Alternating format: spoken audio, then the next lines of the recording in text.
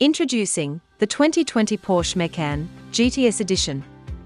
The Macan is a all-wheel drive five-door SUV with five seats, powered by a 2.9-liter twin-turbocharged engine that has 280 kilowatts of power and 520 newton-meters of torque via a 7-speed automatic transmission.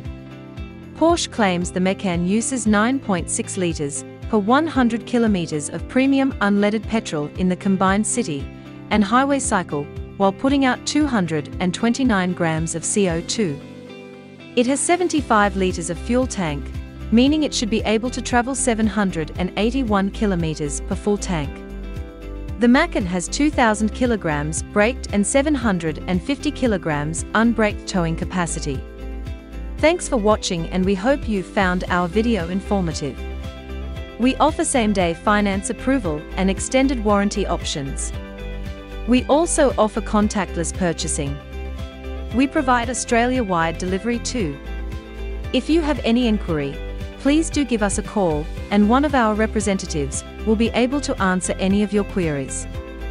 We look forward to hear from you soon.